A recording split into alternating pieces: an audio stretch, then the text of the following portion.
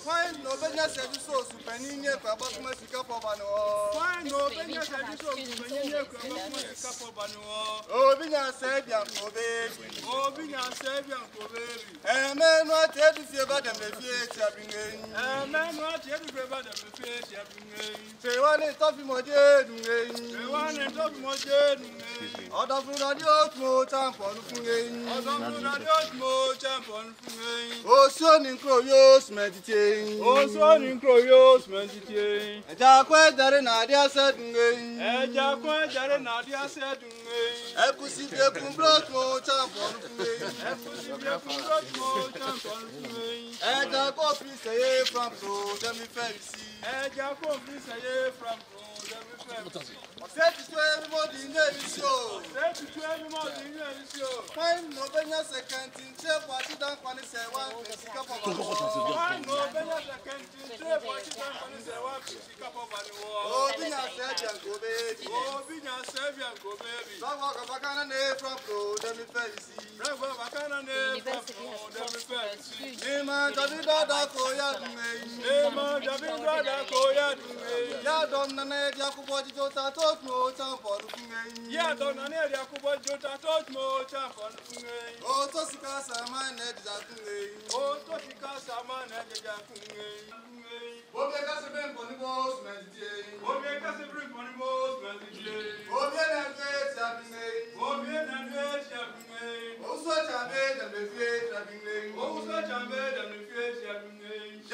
Fẹ́fù, oṣù ní tó bọ́ọ̀dù mọ́ tàǹpọ̀ lùkún èyí. Jẹ́npẹ́ fẹ́fù, oṣù ní tó bọ́ọ̀dù mọ́ tàǹpọ̀ lùkún èyí. Ọ̀nù fúnfọ̀rẹ́ mẹ́ ń pẹ́pù mọ́ sọ́fọ̀rẹ́ mẹ́ ń pẹ́pù èyí. Ọ̀nù fúnfọ̀rẹ́ mẹ́ ń pẹ́pù mọ́ sọ́fọ̀rẹ́ mẹ́ ń pẹ́pù èyí. Ọ̀sájú fóògùn yẹn gbọ́ sí èyí. Ọ̀sájú fóògùn yẹn gbọ́ sí èyí. Ó gbọ́ sàtìnàdó tàbí èyí. Ó gbọ́ sàtìnàdó tàbí èyí. Wo bulu bɛ jɛ tɔfɛ bɛ dɛmɛ fɛ gunye bɔ si a dunɛ tɛmɛ ra.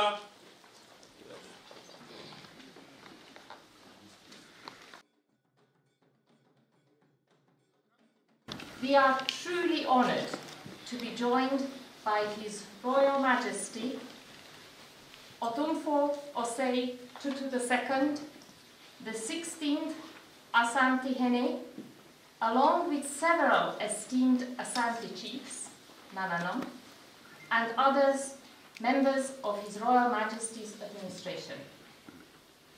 I will welcome His Royal Majesty fully to our university in just a moment. However, first I would like to share with you some details of today's event and express our sincere thanks to some of the people here who work hard to make this summit such a success. The St. Andrews Africa Summit, SAASUM, is an annual event focused on Africa and the African diaspora, coordinated by a dedicated team of students here at the University of St. Andrews. SAASUM is designed to introduce African affairs to our students, inspire them to find out more about Africa's historical ties to the Western world, and encourage a desire to participate in the continent's future. Today's summit is particularly significant as this is the first event leading up to SAASUM's 10-year anniversary this spring in 2024. Since it was founded in 2014 by Bradley Poku Amankwa, from whom we will hear more very soon, the summit has gone from strength to strength, welcoming such luminaries as the Nobel Peace Prize laureate Leymah Gbowee in 2015, His Excellency Nana Akufo-Addo, President of the Republic of Ghana in 2020, and Dr. Luis Franceschi, Assistant Secretary General of the Commonwealth in 2022. The university is extremely grateful to Madeline Panino, the director of SAASUM, and everyone on the SAASUM committee who has worked so hard to make this event such a success. I'm told that the level of enthusiasm and collaboration from the student body has been nothing short of amazing. Thank you, and well done to you all. Here today, without the efforts of our alumnus, Bradley Poku Amankwa. Bradley's vision and commitment are shown not only in his founding of SAASUM in 2014, but also in the extraordinary efforts he has made to bring this event to fruition today. Please join me now in expressing our sincere thanks to Bradley.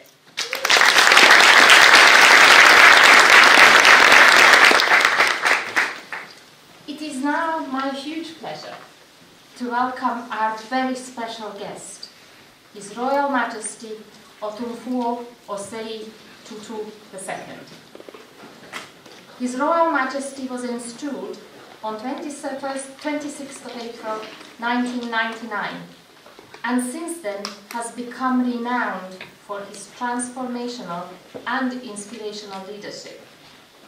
He has received many accolades, including the Pillar of Peace Award for his visionary leadership in restoring peace in the Kingdom of Dagbon in Ghana, from the Africa Premier Leadership Awards in 2020, the Chartered Institute of Marketing Ghana President's Special Award in 2019, and was bestowed with an honorary degree from his alma mater, London Metropolitan University in 2006. As a founder and patron of the Otumfuo Osei Tutu II Foundation, he has expressed his clear passion for educational development and the power of education to transform lives. His dedication to education in Ghana is also demonstrated by his role as Chancellor of the Kwame Nkrumah University of Science and Technology. The wider aims of the Foundation have much in common with the themes of the University of St Andrews strategy, which looks to place our 600-year-old university on a strong footing for the future. Entrepreneurship is one area in which we share a focus, and the Foundation's Autumn Otumfuo Entrepreneurship Challenge plays an important role in nurturing the next generation of Ghanaian entrepreneurs. His Royal Majesty is also known for his environmental vision. In 2019, he announced the planting of two and a half million trees around Lake Bosomtwe to protect the water bodies of the Asante Kingdom and preserve the land for the next generation. This is yet another area in which our goals align, with the St Andrews Forest Project forming an integral part of our commitment to becoming a net zero university by 2035. Finally, on a personal note, I'm told that His Royal Majesty is rather keen on golf. Another topic you can learn a lot about in St Andrews. I sincerely hope that your visit to our town and our university demonstrates how much we have in common both on and off the fairway. So with such distinguished speaker, it seems we are for an outstanding address today. And we have much more to look forward to during this afternoon's reception and formal sitting in state ceremony. However, for now, please join me in welcoming His Royal Majesty Otumfuo Osei Tutu II.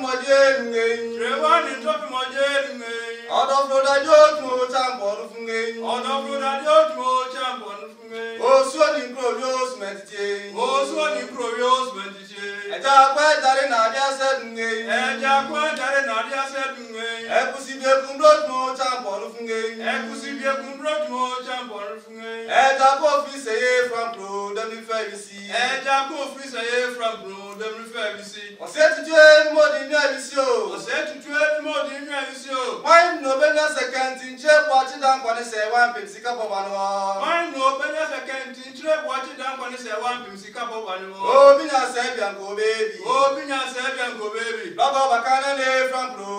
ɛbisi. Rakɔ abaka na ne efra no dɛm ne fɛ ɛbisi. Ɔsɛ tutu emu ɔdi nyu ɛbisi o. Ɔsɛ tutu emu ɔdi nyu ɛbisi o. Wopɛ nso n'adu ɔkutu nu ɔkukodo titi asantima ne Ghana mɛ nyinaa. Wopɛ nso n'adu ɔkutu nu ɔkukodo titi asantima ne Ghana mɛ nyinaa. O mi nya sɛ bia nko beebi. O mi nya sɛ bia nko beebi. Asi ni ɛjɛ mi bɔ ni tuma ɔja nkɔ no fun ye. Asi ni ɛjɛ mi bɔ ni tuma ɔja nkɔ no fun ye. Ɔyin bɛ ja ìpamọ́ sùmẹ̀tìtì. Ɔyin bɛ ja ìpamọ́ sùmẹ̀tìtì. Obi ẹ̀ ẹ̀yìn. Omi ètùrà kò síbi fi ẹ̀yìn. Ẹ̀tọ́ ní mẹ́ta fóòtù ó jàǹbọ̀ ní fún ẹ̀yìn. Ẹ̀tọ́ ní mẹ́ta fóòtù ó jàǹbọ̀ ní fún ẹ̀yìn. Omi ẹ̀kásí bẹ̀rẹ̀ bọ̀ ní bóòsù mẹ́tìtì ẹ̀yìn. Omi ẹ̀kásí bẹ̀rẹ̀ bọ̀ ní bóòsù mẹ́tìtì ẹ̀yìn. Omi ẹ̀nàdúrẹ́ kàṣàngẹ̀ ẹ̀yìn. Omi ẹ̀nàdúrẹ́ kàṣàngẹ̀ ẹ̀yìn. Òwúsọ ẹ̀jà bẹ́ẹ̀ dẹ̀mẹ̀fẹ́ kàṣàngẹ̀ ẹ̀yìn. Òwúsọ ẹ̀jà bẹ́ẹ̀ dẹ̀mẹ̀fẹ́ kàṣàngẹ̀ ẹ̀yìn. O bóòtù ó jàǹbọ̀ ní fún ẹ̀yìn. Dẹ̀m̀pẹ̀ fíàfù ó sọ ní tí o bóòtù ó jàǹbọ̀ ní fún ẹ̀yìn. Ọ̀run fòrẹ́ mẹ́ńpẹ́ mọ́ sísẹ́ ngeng. Ọdún fúnfọdé mi kí ọ̀pọ̀ mọ́ sísọ fúnfọdé mi kí ọ̀pọ̀ ngeng. Ọ̀sọ́fọ̀ olùsẹ̀jẹ̀ mọ́ ọkùnrin jẹ́ bọ́ ọdún ọjà bọ̀ ní fún ngeng. Ọ̀sọ́fọ̀ olùsẹ̀jẹ̀ mọ́ ọkùnrin jẹ́ bọ́ ọdún ọjà bọ̀ ní fún ngeng. Ọ̀sọ́fọ̀ pọ̀sù ọ̀bọ̀ oṣù mẹ́tìtì. Ọ̀sọ́fọ̀ pọ̀sù ọ̀bọ̀ oṣù mẹ́tìtì. Ọ̀sọ́fọ̀ n'ẹ̀dọ́ kasa ngeng. Ọ̀sọ́fọ̀ n'ẹ̀dọ́ kasa ngeng. Ẹ̀rọ ọdún òkúrẹ́ ni pé bìyẹ̀kú ni fàtà bọ̀ fọ́ sẹ́ńtì ọdún fàtà ni gbìngẹ̀. Ẹ̀rọ ọdún òkúrẹ́ ni pé bìyẹ̀kú ni fàtà bọ̀ fọ́ sẹ́ńtì ọdún fàtà ni gbìngẹ̀. Òkúrú bẹ́ẹ̀ dàtọ̀ pé bọ́ọ̀dù mọ́ ọjà bọ̀ ní Movement of Rebels, no champion. Oh, Planet Preponibus, meditate. Oh, Planet Preponibus, meditate. Oh, Kakanadwe, Kasange. Oh, Kakanadwe, Kasange. Washe from Pro, Demifao. Washe from Pro, Demifao. Oh, Sadi for Gunyakwasinge. Oh, Sadi for Gunyakwasinge. Oh, Prasantinadwe, Kasange. Oh, Prasantinadwe, Kasange. Atɔpɛrɛ bɛ dɛmɛ fa ọkùnrin ẹgbẹ́ àsì adu n'akyerɛ bɛ. Let me begin by thanking the St. Andrews African Summit and that master the university for the kind invitation to deliver this distinguished keynote address So. for this year's edition of St. Andrews Africa Summit. The last time I delivered such an address at the University of Cambridge, it coincided with the university overtaking its traditional Oxford rivals for the first spot in the university rankings. So. I am happy to note that this time round, the University of St. Andrews had broken the duopoly of the Oxbridge colleagues and leapfrogged them to take first spot in the rankings. Well done to the Vice Chancellor and the University for may your success continue. So.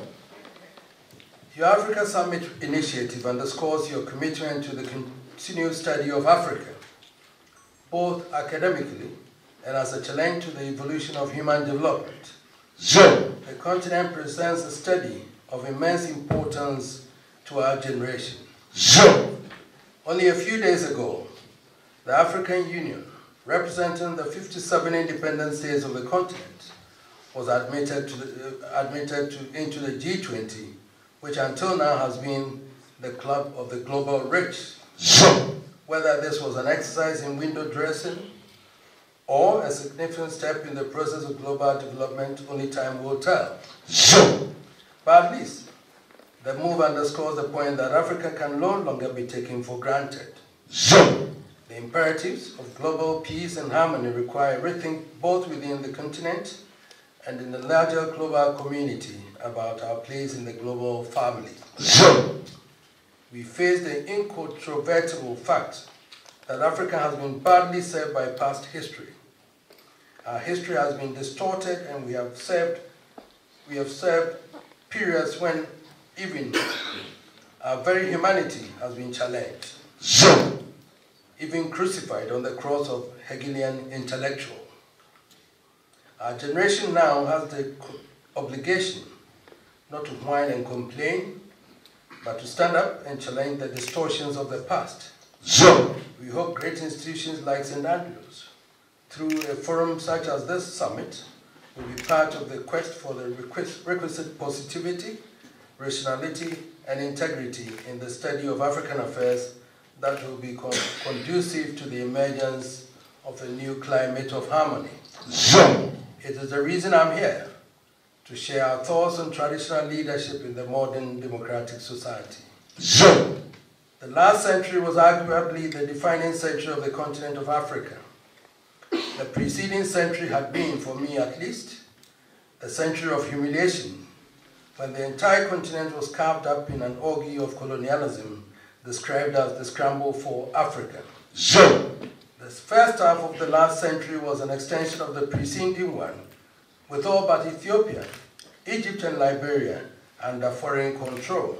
The second half of the century, however, saw the dramatic change in the circumstance with the political emancipation of the whole continent from colonial subjugation. It will seem obvious, therefore, in considering the modern African democratic society, that the starting point would be the post-emancipation era, approximating to a little over the last half century. Unfortunately, I fear that will only paint a hazy picture of traditional leadership in Africa. Zoom. For a fuller picture, we need to leap back in time to be able to feel and appreciate the evolution of traditional leadership across the continent through different epochs. Zoom. We should examine a snapshot of traditional leadership in the epoch before the European invasion and consequential, consequential colonization. Then look at the role of traditional leadership during the epoch of colonial rule to provide the context within which one can fully appreciate the role of traditional leadership in our modern democratic society. Zoom. It has become the burden of our generation to challenge the historic injustice meted out to our continent through the inhuman characterization of its inhabitants, our forefathers, as some subhuman species who needed to be dragged into civilization. As a corollary to this endeavor, attempts have been made to decapitate the continent by pretending that the nations of the north, such as Egypt, are not of Africa at all. Zoom. Such is the prejudice and the hate that since the power of Egyptian civilization cannot be denied, they must construct the subterfuge that no such civilization could come out of the so-called dark continent, and therefore Egypt cannot be African, Zoom. be of Africa. And yet, whether you believe in or deny the existence of God, you cannot deny the existence of Africa as one continu- continuous uh, continent. Its landmass stretching from the Mediterranean north to the Atlantic south and from the east to the west. In such a vast landmass, there is bound, to be, like all other continents, great diversity in outlook among its population. And yet, of laying such differences are the multiplicity of languages, is a commonality of cultural organization and compelling evidence of the existence of African civilization in every part of the continent. Zoom. Assuming there can be no denial of the reality of the civilization of Egypt and ancient Carthage in the north of Africa, we will move to the south of the continent where the promoters of apartheid have sought to eliminate every grain of African humanity. So, Even here, neither the impact of the Boer War nor the horrors of apartheid have succeeded in obliterating the magnificent organization of the Zulu Kingdom Zoom. or the kingdoms of the Swazi. They were before the European invasion, and they are to this day models of traditional African statehood. Zo. Move on to the heart of the continent, the territories of Central Africa. Here lies the Congo, possibly the greatest victim of colonial savagery, still suffering the travails of a tortuous evolution. It was, it was in April 19, 1885 that the Belgian parliament granted authority to the Akin, Leopold II, to assume the position of head of state of the new African possession of the Congo. He was not to be simply head of state, but the parliament stipulated that affairs of Congo would rest exclusively with the person of the sovereign. In other words, the property of King Leopold, and he proceeded to manage it as such until 1908, when it was formally annexed by the Belgian state as its colony. How did the Congo end up in that predicament? Was it because the people were subhuman with no history and no descendable past? In the 50s of the last century, as the flame of African nationalism burnt bright and the demand for emancipation of the continent reached its apogee, the Belgian government published some magnificent volumes, volumes of books designed to sanitize their rule in the Belgian Congo. Zo. Between accounts of the horrors inflicted by other European powers that preceded them, the first volume of the massive book published by the Information and Public Relations Office of the Belgian Congo and Ruanda-Urundi also attempted to assuage the hurt of the people by relaying some unpalatable truths about their history. So, After recounting what had been discovered about the origins of humanity in the soil of Africa, the book noted that much of Central Africa had been, had been shrouded in mystery as a result of the absence of any written accounts of Latin, lasting monuments. Zo. The inevitable question was posed. Must we conclude from this that for nearly 2,000 years, Central Africa, cut off from European progress by the desert and by impassable rivers, saw only unorganized hordes similar to the human heads of prehistoric times? And the authors provided the answer not at all. There's an erroneous idea. It is still believed in certain circles where people repeat glibly that until the arrival of the Europeans in the last century, the history of black Africa is one with, with prehistoric times. And the book goes on. As a matter of fact, the first Europeans who landed in Africa often found communities that were politically organized.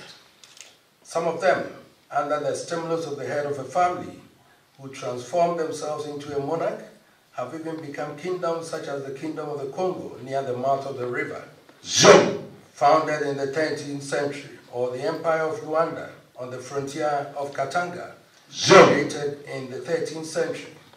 There are many evidences of these Congolese monarchies. The very first explorers from Portugal pointed out that the natives there were more civilized, and although they had not yet acquired writing skills as had the empires of Benin and Timbuktu in West, the political structures closely resembled the feudal organization of Europe in the Middle Ages. In fact, the king had divided the country into provinces and districts, at, at the head of which he had placed delegates chosen by himself. However, in certain cases, there were already popular elections, a kind of democratic counterweight in embryo opposing authoritarianism. There were rather highly developed techniques. The castle of iron and copper was known.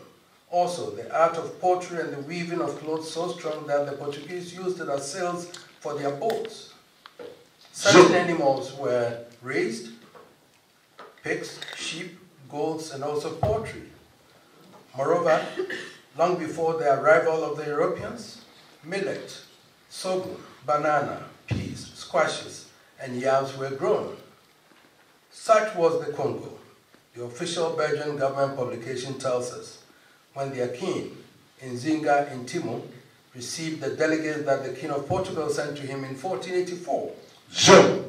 Testament to his sagacity, King Nzinga Intimo immediately dispatched emissaries of his own to the king of Portugal, asking for masons, carpenters, agricultural laborers, and missionaries. In short, all the technicians he needed to help him improve the living conditions of his people. This exchange resulted in the establishment of a strong tie between the kingdoms of Portugal and the Congo, based at the start not on conquest or vassalization but on an alliance. The two kings, on an equal footing of, of formality, exchanged ambassadors, and these diplomatic relations continued for many years. Zoom. King Nzingan Timo was succeeded on his death by his son Don Afonso, who continued with his father's request, father's quest for the development of, of the life of his people. He opened the country to more Europeans and had his son sent to Rome to receive ecclesiastical training, becoming the first African bishop in 1518. Zoom. Don Afonso established diplomatic relations with the Netherlands, Brazil, and the Holy See, and between 1504 and 1539, he sent three emissaries to Rome, Portugal. Obviously, his assertiveness was displeasing to the Portuguese, but of greater consequence, King Afonso was indignant about the vices which Portugal had introduced into his country. The Portuguese had introduced alcoholism, extortion and slave trade on a scale which was destroying the moral fiber of his people. An indignant King Afonso threatened to cut off commercial relations with Portugal if they did not stop. It began a period of turmoil in relations between the two countries, leading to an open warfare against the king Don Antonio and the crashing of the Congolese in the Battle of Impila in 1665. Zoom. From that time on, the decline of the Kingdom of Congo was swift, crushed by military might, abandoned by commerce which had shifted to Angola, and weakened by the slave traffic. The Congo was reduced to vassalization, and as a phantom state, it was finally dismembered definitely in 1885 when it was partitioned among the France, Portugal, and King Leopold. The official Belgian publication lamented that the privileges extended by the original alliance between the two states had soon been corrupted, giving way to trickery and violence. And the alliance was transformed into such a vast system of exploitation that in 300 years it succeeded in converting into a gigantic slave market this country which might, might have known a better fate. The Kingdom of Congo was not the only one in the Central African Basin. The same Belgian Congo took also book also recounts the story of the Kingdom of Bakabu as perhaps the most ancient of the Congolese kingdoms, certainly the one where African civilization has reached its highest point, and the only one which, frozen in a kind of proud conservatism, had remained at its ancient aspect down to the present day. The Bakuba are said to have settled in their present abode as early as the 6th century. Their history is not so much that of conquest as of the development, development of an original civilization which organized a social system and sought out its own aesthetics. We are told that a taste for beauty is one of the dominant traits of the Bakabu, Bakuba people. Everything in this country is decorated, chiseled, custom boxes, cap, drums, walls of houses. So much for Central Africa, as narrated, not by some African radical, but under the authority of the Belgian Vice Governor General of Belgian Congo. Zoom. What do we see in the East? As far back as the 11th century, the kingdom of Mapungwe was trading with Arab merchants on the coast of the Indian Ocean. The kingdom of Mapungwe, 1450 to 1760, had overthrown the kingdom of Zimbabwe circa 1220 to 1450 and was itself defeated by the Rozvi Empire, which succeeded in expelling the Portuguese colonies from the Zimbabwe Peninsula. In 1838, however, a powerful army of the Shona clan, led by a celebrated Zulu general, Mzilikazi, defeated the largest Shona-speaking empire, taking advantage of the heightened internal rivalries. British descended on the territory, managed to gain the signature of King Lobengula on a document purportedly granting him concession to mineral rights in the territory. Zoom. From this flimsy foundation, which will hardly survive any legal scrutiny today, began the chain of events leading to the naming of the territory as Rhodesia and to its eventual annexation as a British colony. Zoom. away from Rhodesia, in today's beautiful Uganda, we have the powerful kingdom of Buganda, founded in 1818 and to this day in total control of its affairs within the Republic of Uganda. Zone. Need I tell you about the glory of the Empire of Abyssinia, the glorious Ethiopian Empire, which is the only African empire to have successfully fought off European subjugation. Emperor Haile Selassie may have been overthrown by his own military in our time, but his heroism will forever glitter in the history of our great continent. And, and so to my own backyard in West Africa. The three most powerful kingdoms of ancient Africa were the empires of Ghana, Mali, and Songhai, all rising in the land stretching from present-day Mauritania, taking in Mali, Guinea, parts of Senegal, down to parts of present-day Ghana. Ancient Ghana began in the first century at a time when Europe was in the wilderness by establishing a lucrative trans-Saharan trade route between West Coast and the Mediterranean seas. For 400 years, it maintained a state which, by any measure, was on a par with any European state. Internal squabbles led to the collapse of the Ghana Empire, but the predecessor empire, the Mali Empire, built on the legacy of the Ghana Empire and succeeded in creating what was to be one of the richest states on the globe. Zone. In Timbuktu, they built one of the greatest centers of Islamic scholarship and learning, teaching all the sciences, mathematics, astrology, and astronomy, creating one of the great universities in Islamic studies with a library of more than 350,000 books and manuscripts. By the sheer efficiency of organization and management, Mali became one of the richest states of the time, and its most famous king, Mansa Kanka Musa, was regarded not only as the richest man of his time, but is considered by many experts today as the richest man of all time. Zone. When Mansa Musa made his pilgrimage to Mecca, the convoy of caravans he sent laden with gold almost sent the Arab- Arabian economies into a spin. Zone. The power of African traditional rule did not die with the ancient empires in West Africa. Near our time, we've had the kingdoms of Benin, Ile Ife, and Oyo, and the Hausa Empire of northern Nigeria. And we've had the Mossi and, of course, the Asante Kingdom. Each of these kingdoms, the empires have evolved through ingenuity of their people, creating institutions of governance and organization appropriate and in many ways ahead of their time. Zone.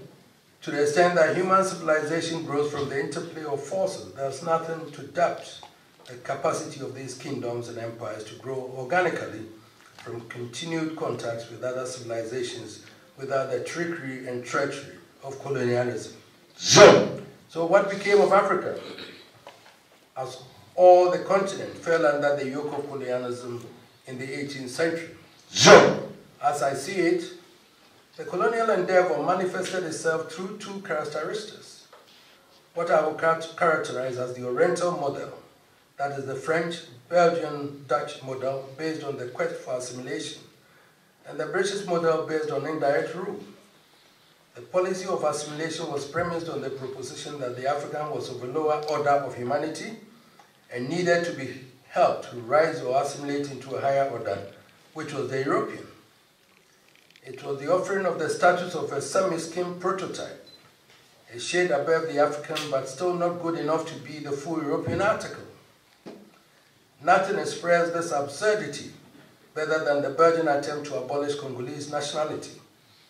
Recounting controversies about Congolese nationality following the annexation into the Belgian colony, the official Belgian Congo book we have already cited confidently asserted in the 1950s Zone. it is, and I quote, it is the unanimous opinion that Congolese nationality no longer exists.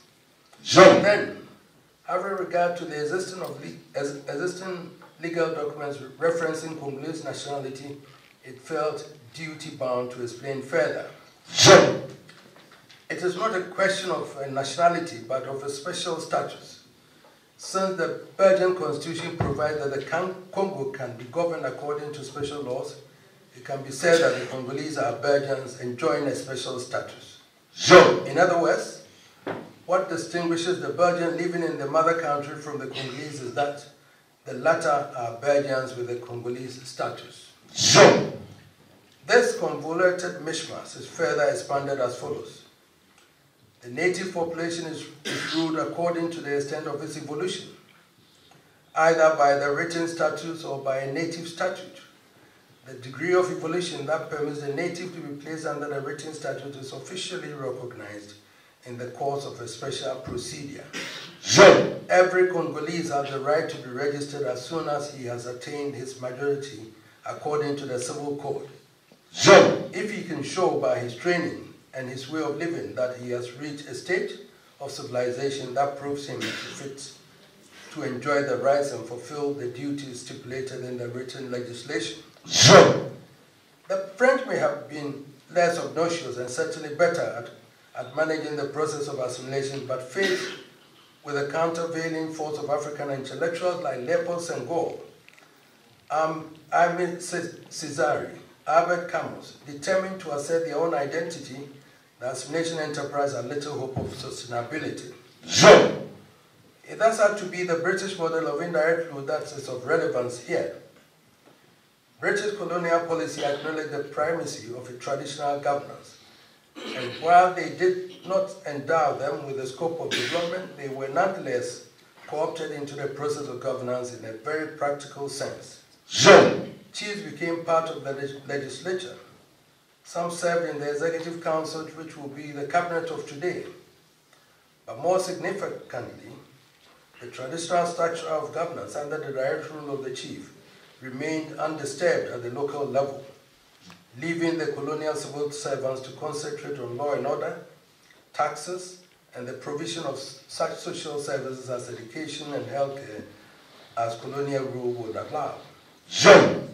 This collaboration between the traditional rulers and the colonial administration served their purpose well. And when, for example, the Gold Coast was cited as a model co- colony, it was not because Brit- Britain had sent any special breed of colonial administrators.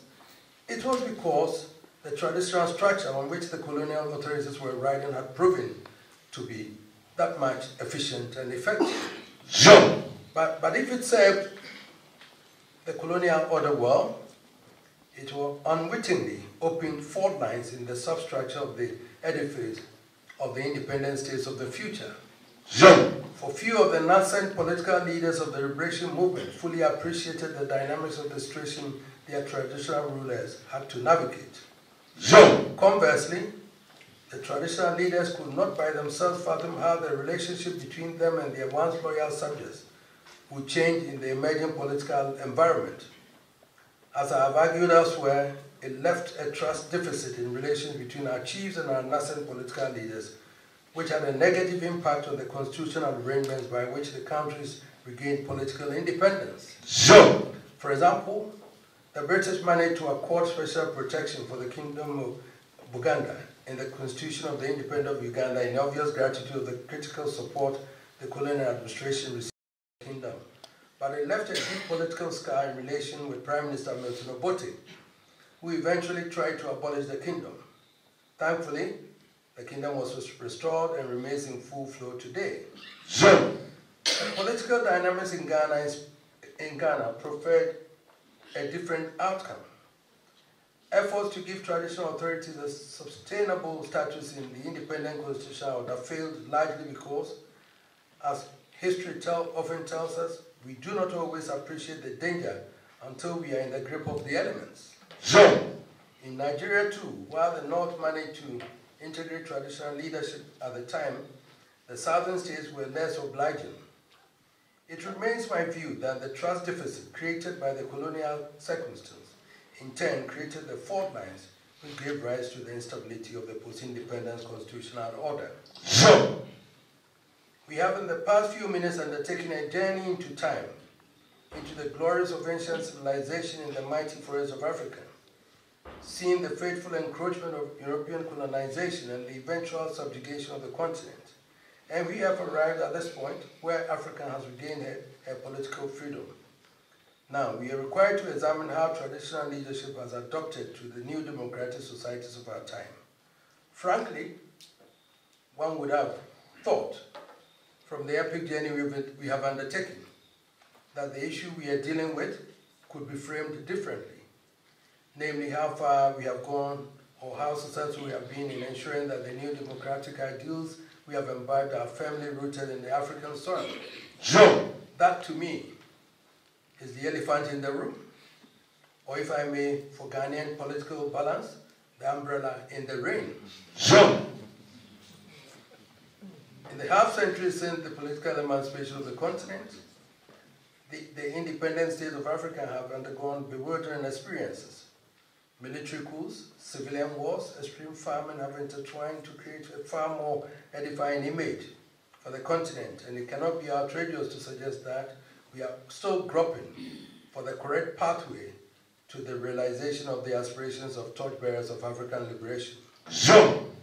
From all the experience of the past five decades or so, a pertinent question arises whether the political dispensation and constitutional arrangements on offer are adequate or appropriate of our circumstances. If we are honest, we will have serious doubt about a system which offers little or no scope for consensus building in an environment which demands all hands on deck. A system so focused on the winning and retaining political power that considerations of national interest become subservient to considerations of political party and private pockets. Has it been an act of misplaced political indulgence for us to believe that democracy is one size fits all? Or a package for simple straight transplant? It may very well be in my view. I've always had a brilliant surgeon here with me in my team, and if I didn't know, at least he would remind me that there's nothing like a simple transplant. So much has to be done to prepare the body before a transplant. Otherwise, you risk the trauma of organ rejection. As with the body, so it is with the polity. However, you package the system of governance, it will only survive in the right environment. Unfortunately, we in Africa have been obliged to succumb to the proposition that merely transplanting a multi-party electoral system is sufficient to guarantee the sustenance of democracy and achieve the development goals of the, of the state. I fear this is a grave error, and I say so not because I do not accept democracy, but because what we see only postulates a caricature of what democracy in its fullest sense should be. Joe. We have attested to the history of African civilization and governance going back millennia. We have proven how far Britain utilized and relied on, relied on the system of traditional government to ensure the success of its colonial administration. I would have thought that we would have sufficient confidence in what we have built, which has served us over the centuries, to use it as a foundation on which to erect a new governance structure, and to then explore how we infuse the new ideas into them to give us a dynamic system appropriate to our conditions and circumstances. Let, let us be clear. The French Revolution abolished the monarchy under the banner of liberty and fraternity, but democracy did not abolish the monarchy in Britain and the rest of Europe. Democracy was built on the solid foundations of enduring monarchy, and much of Europe and the rest of the world is the better for it. What makes it impossible to use the traditional institutions of Africa as the foundation for the construction of democratic institutions of our new independent states? It has to be a matter of great regret that even after the failures of the initial independent constitutional order, we still surrendered to the arrogant propos proposition that the true African creation is unworthy. I fear this perpetuates the old colonial absurdity which consigns all African achievements and creations to the rubbish heap. It is significant, that, it is against this background, sorry, that we can now look at the role of traditional leadership in the new democratic uh, state. From what we have learned so far, it should be evident that with few exceptions, the constitutional arrangements of the new African democracy leave traditional leadership in, at the peripheries of national governance. Within that limited range, much good is often accomplished. Traditional leaders offer useful counsel and advice to elected political leaders and serve as interlocutors between them and the ordinary people. As we all know, 80% of the population of Africa lives in the rural areas. The primary loyalty of this mammoth community continues to be with their chiefs, Inevitably, their leadership is critical in the quest for development and prosperity of any country. Contrary to the misconceptions of the times, the evidence is that wherever traditional leadership is strong, they are able to maintain peace and national cohesion. The issue for contemplation, therefore, must be whether the road of traditional leadership should be limited to the peripheries or whether it lies at this stage in our evolution, at the heart of critical decision making. I hasten to add that there is no expression of personal displeasure. In the 24 years of our reign as Asantehene, we've had to deal with five presidents of the Republic. I can only pay tribute to all of them for their exemplary wisdom and their commitment to the common good. They've all accorded us the respect and honor, being open to counsel as circumstances demand. But that is because they have all been decent men well steeped in the culture and traditions of their people and conversant with the influence of their chiefs. Their respect for tradition, however, does not hide the fact that the system of governance in situ places serious constraints on the role of traditional rulers in the governance of the nation. Zone. One would have thought, for instance, that the good, good offices of the traditional leader could be used more purposefully to facilitate dialogue between contending, politi contending political actors to encourage consensus building and minimize tension and acrimony in national political, in national political discourse. That would immediately create an additional layer of the support mechanism needed to sustain national cohesion and stability. It is an option derived from our tradition which would strengthen the foundations of the democratic state, but which is not available now. We have seen how effectively it works as applied on an ad hoc basis in peace settlements. Is it not worrying that we cannot yet find scope for the application of this healthy traditional mechanism to facilitate the resolution of conflicts that adversely impact the economic development of the nation? Zone. I should at this stage deal with what has emerged as a matter of the greatest consequence to the fate of our continent. Is the regrettable phenomenon of the resurgence of military coups in Africa. The first two decades of political emancipation, a spate of military coups rocked the continent and took away the first generation of leaders for the immediate post-independence era. Having gone through the experiences that followed, the continent concluded that its fate lay in the orbit of democratic governance, and so it has been for the past two decades. Zone. The resurgence of military intervention suggests that something has gone seriously wrong. Let me make it categorically clear that regardless of the circumstances, I do not think that military intervention offers a solution at this point in the evolution of our continent. Zone. There was a time when circumstances produced the notion that power flew out of the barrel of a gun. Those times are over and we face completely different circumstances now. The critical problem confronting Africa is the economy. From north to south, east to west, and all the joiners in the center, the burden is the economy. It is how we ensure every citizen and every family has food on the table.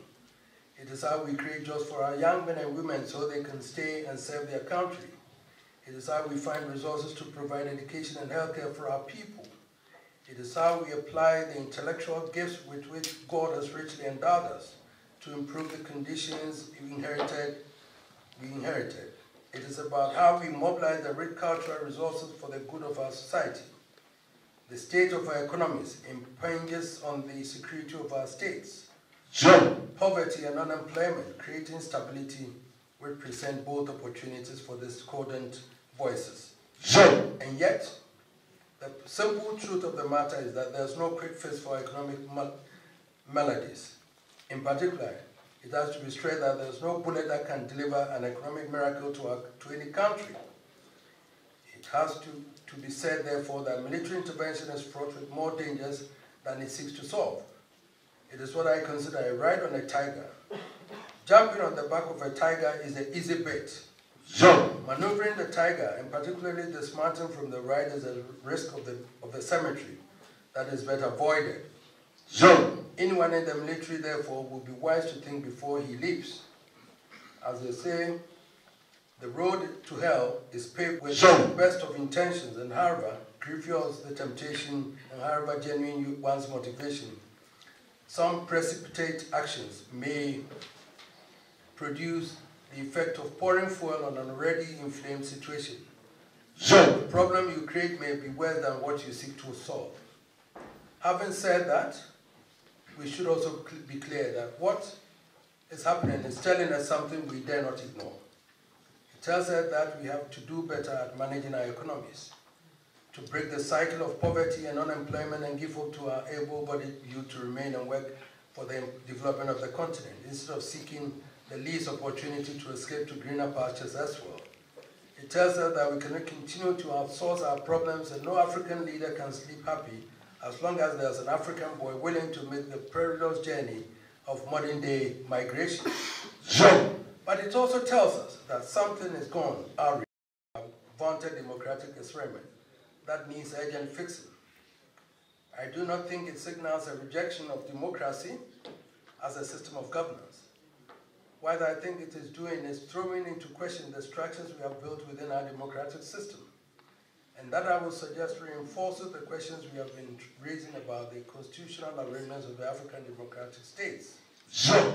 I take issue with the notion that our traditional system of governance are wholly undemocratic and that political parties can better relate to and represent the interests of the people. Of course, we do not question the need for political parties. In every community, citizens may have different views on social and economic issues, and people should have the right to bond together according to their beliefs, and political parties offer the necessary platform for this. However, the cultural and traditional beliefs of African di- transcend his political beliefs, and therefore, while they may split among political lines, they remain bound together by their traditional beliefs. Unfortunately, we appear to suffer from the misconception that political parties would link people from their traditional roots, such that their traditional institution could be rendered irrelevant. That has not happened and cannot happen for good reasons. Zo. Primarily, no African today is willing to be cut loose from his roots, but secondly, because it is becoming clear that our system of governance is as democratic as any and offer a sounder foundation for the evolution of a new democratic superstructure. Zo. Let me just give you an example of my own Asante kin- kingdom, whose system of governance reflects every Akan state. Contrary to the perception of old, the Akan state was not the feudal state of Europe. Every Akan citizen and family belongs to a clan, and every clan is linked directly to a traditional stool. It is the occupants of these stools who are the chiefs constituting the traditional councils. In other words, the traditional council is composed of the direct representatives of all the families within the state. In Asante, we have gone further. We've created tools for communities of residents who are not citizens. Thus, we have the Anlo community who have been, who have been traditionalized in the Asante Kingdom, the Fanti community, and the Zongo community, all represented in the Kumasi Traditional Council. The closest analogy one can make to our system would be to have representation of, say, the large immigrant communities like the African and West Indian and Asian communities represented in the British Parliament. Zo. Deliberations are open and as rigorous and intense as you will find in any state legislature. But underpinning it all is the inviolable respect for traditional ruler, traditional order. All matters of adjudication or conciliation are conducted through an open, fully documented process, and all chiefs and attendants are called to express their conclusions. The beauty of it is that every chief always has his advisors and many may consult freely before stating his opinion. As an exercise in democratic practice, I would not yield to anyone on the efficacy and democratic nature of our process. Zo. We are able through our system of adjudication and conciliation and arbitration, a myriad of litigation that would have paralyzed the judicial system. Our queen mothers are resolving domestic issues and leading the way to the empowerment of women at all levels. So the million dollar question is why it is still impossible to achieve a fusion of our traditional system with the new democratic elements that will give us a strong, sustainable structure. Ask how such, surely, as, a, fr- as an African setting, this is not impossible to contemplate. It is the reason I'm not overwhelmed by the enormity of the challenges facing Africa, and the reason I ask the world community not to despair about the condition of our beloved continent. We are the children of immortal Pharaoh, the children of Mansa Musa, the heirs of Opunso Kino Setutu, the, king, the, the children of King Chaka Zulu. We are what we are and what we were, and we will be what we are. Not the caricature of some uh, proto-Europeans that history has portrayed us, but proud Africans confident of their destiny and know where the destiny of Africa lies, where our future lies. Africa should look to its past to find its future. And that future can only be as bright as the African sun. Before some of us begin to run for cover, let me offer one assurance. The future is not clouded in revenge or retribution. It is the future of reconciliation and positivity and cooperation. Remember, my great uncle, King Prempeh I, returned from 25 years of heart-rending exile, shaking no doubt, but unbowed, and called for the people of Asante Kingdom to embrace the new reality and join together to build a new state of the Gold Coast, which is now Ghana. Zo. That spirit of conciliation has reigned with us to today. So did my dear friend Madiba Nelson Mandela, who walked out of Robben Island after 24 years to hold a hand of friendship to his captors and so heralded the collapse of apartheid. I have no doubt that the African spirit of reconciliation will prevail in that future and will shine a new light through the darkness that today threatens to engulf the world in conflict. We need from the world communities understanding and support, genuine support to efforts to overcome the ravages of economic woes. In that setting, we can look forward to a strong, regenerated and developed Africa, enriched with the inspiration of its glorious past, Zo. sharing prosperity with the rest of the world in peace and harmony. And Ghana and Britain can look forward to a new era in which confidently celebrate the possibility of our historic ties and consign any of its ills to the tales of forgotten folklore. Zo. Thank you, St. Andrews, for the opportunity to share our vision of traditional Africa in this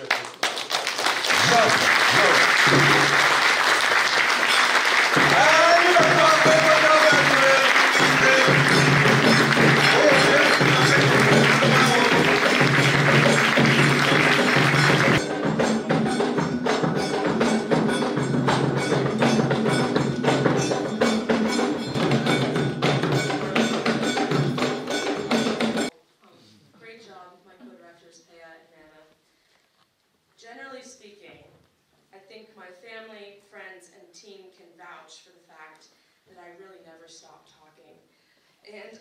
Always find something to comment on or add. However, these past couple of days, beginning with meeting with the King's lovely advance team and Bradley, to greeting His Royal Majesty and the High Commission at their estate, to welcoming them at the Eden Golf Course, and now, finally, hearing from His Majesty King Otumfuo Otumfuo Nana Osei Tutu II at this keynote. I am finally at a loss for words, so it's very good that I came prepared. I have some things written down. Um, If I may, I will now introduce myself a bit further, my team, and this event's creator.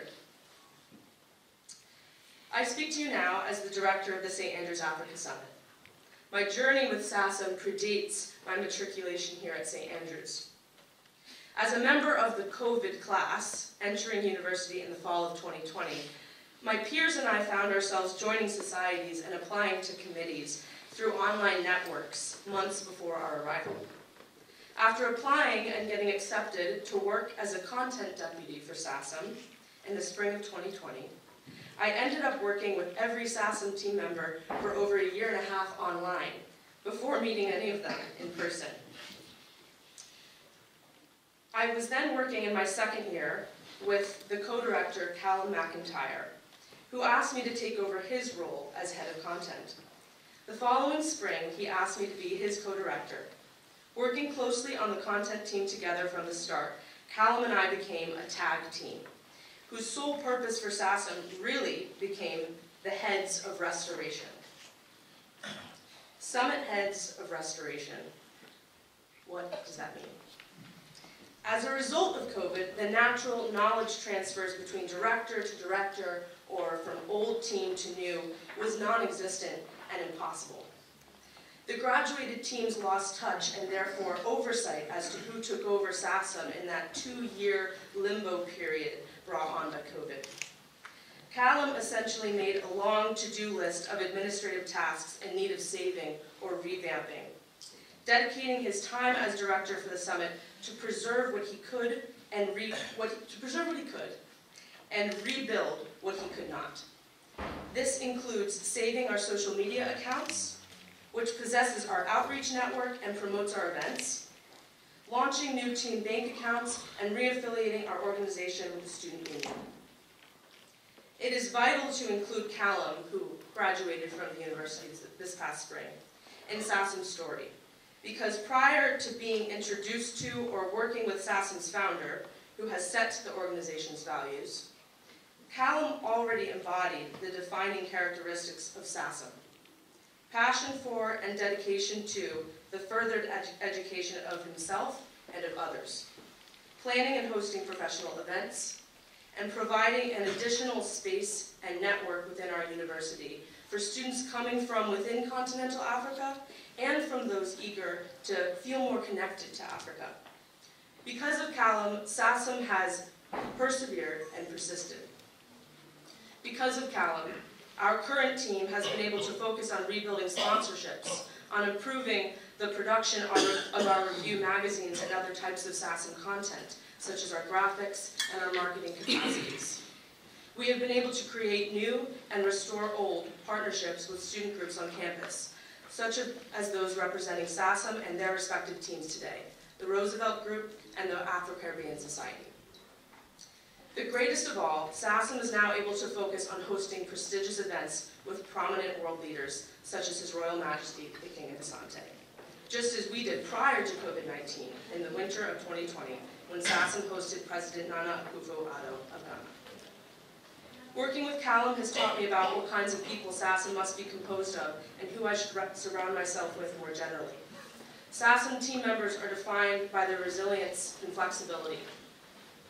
When hosting large events such as this, a team has to be able to get knocked down, mostly unfazed, and pick itself up again with every bit of faith that will recover move past an obstacle, prepare better for the future, and perhaps avoid facing a similar mistake again. now, when hosting large events with team members living across the world, the team needs to be patient with one another, honest with what they can commit to, and trust that despite lags in conversation or meetings, that their teammates are true to their word and accomplishing their tasks. I can honestly say that my team accomplishes all of that and more. My co-directors, Mana and Pia, both worked incredibly taxing jobs this summer. Mana facing the intense and long hours of a finance internship, and Pia working in remote areas such as the Amazon and several national parks across Kenya, dealing with very little cell reception. It was always incredible to hear the progress that these two made despite the conditions of their work and their off hours or limited time with Wi-Fi. The efficiency and efficacy of their work cannot be overstated. Midway through the summer, my logistics and operations team took on the duties of the events team, whose head could no longer work for us. My head of editorial also manages to SAASUM's web design and overall creative direction. He currently also sits in the back of the room, live streaming the event. My content deputy is serving as a photographer right now as we speak. My head of finance served as a caddy for the King's accompanying chiefs at the Eden course yesterday. And he has helped the head of sponsorship on her leads. The head of sponsorship has also helped with event details, such as finding caterers for future SAASUM initiatives. I insist that these are only a few of countless examples I have, where teammates went from graphic designers to organizers of press releases, and so on. His Majesty, Otumfuo Osei Tutu II, monarch of the Ashanti Kingdom, Nananom including my very own grandfather, and Nana Osei Chidomini of Kenya City. Ambassador Edward Boateng, senior executives of the University of St. Andrews, representatives of His Excellency the Ghanaian High Commissioner to Britain, current leadership of the St. Andrews Africa Summit, my family and guests of this esteemed occasion. First and foremost, I would like us to give a resounding a round of applause to His Majesty the King.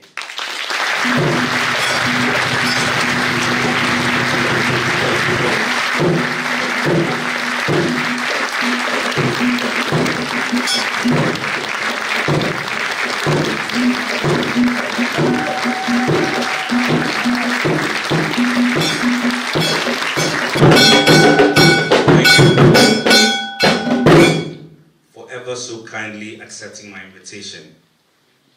It is not lost on us what a majestic feat that it is for him to travel this length just for us. And I can confidently say that this is the highlight of my life so far.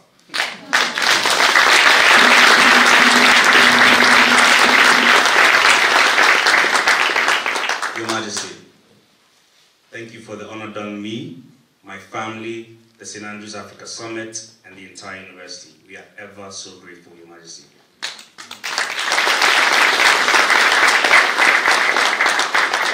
Almost a decade ago, after being here for not less than a couple of months, I had a rather interesting idea to boost the African, the profile of African affairs here on campus.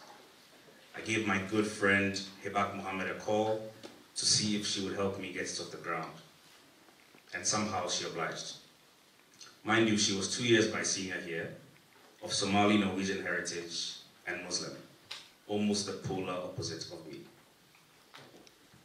I drew the vision, she built out the operations, and before we knew it, we had recruited an army of fellow students to come on this crazy journey with us that would form the first ever committee of the St. Andrews Africa Summit, just as Madeline and her team have done today.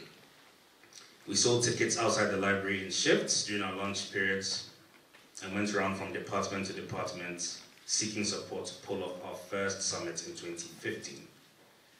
We are so grateful to the people that believed in us from now until then, including the late Professor Ian Taylor of the School of International Relations, may his soul rest in peace, and His Excellency Ambassador Edward Boateng, who joined us as our first ever keynote speaker back at the inaugural summit, when nobody believed in us. Thank you. and who has also been an incredible pillar of support towards our milestone event today. Thank you, Excellency. It is my utmost pleasure to be back at my old stomping grounds, and I would like to congratulate us, as we've all done today, for retaining the number one spot as the topmost British university for the second year running, beating our good friends from the south, Oxford and Cambridge, once again.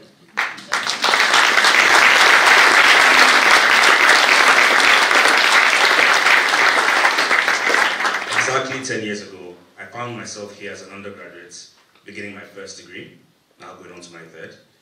And if anybody ever told me at the time that I'd one day return with my president, the president of my country, and now the king of my homeland, I would have probably asked them what they drank that morning.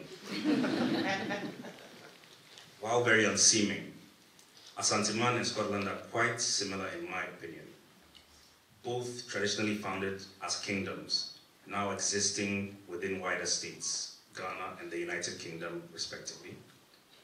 Both nations have very strong and colorful cultures, as you can see here today, visually represented in the form of the Scottish tartan and the Ashanti kente fabrics, and share values of extended kinship, military prowess, and a deep appreciation for heritage and tradition.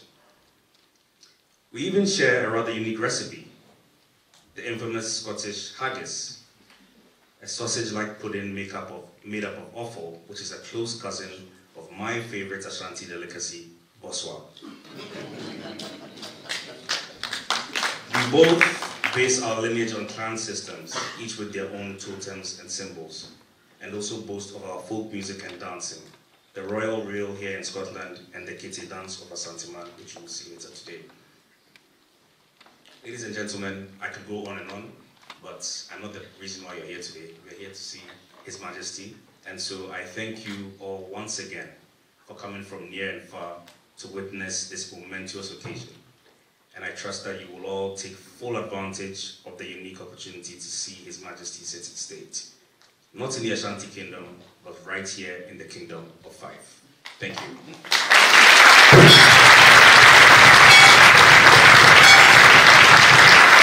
you.